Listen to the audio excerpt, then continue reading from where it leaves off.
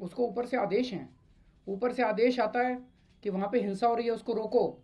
तो दिल्ली पुलिस जान की बाजी लगा के उसको रोकती है। उनको आदेश आता है हिंसा होने दो। होने के बाद उनको निकल जाने दो। और जब निकल जाए फिर तुम अंदर जाना। तो बेचारा वही करता है। एक मिनट। एक मिनट। एक मिनट एक मिनट तो दिल्ली में शिक्षा में स्कूलों के अंदर जब हमने टेक ओवर किया था जो टीचर्स थे, उन्हीं टीचर्स से हमने ठीक किया।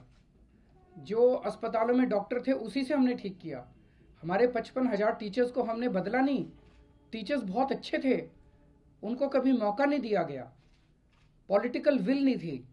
आज दिल्ली पुलिस को अगर आप ये आदेश दो कि दिल्ली के लॉ एंड ऑर्डर को ठीक करना है, चोरियाँ नहीं होनी चाहिए, ये सब बलात्कार नहीं होने चाहिए, आप देखिए करके दिखाएँगे।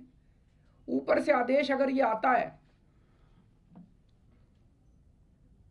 कि आपको हिंसा रोकनी नहीं है, आपको लॉ एंड ऑर्डर ठीक नहीं करना तो बेचारे पुलिस वाले क्या करेंगे? अगर वो ऊपर से जो इनफॉर्मल आदेश आते हैं, उसको नहीं मानेंगे तो फिर उनकी तो नौकरी चली जाएगी।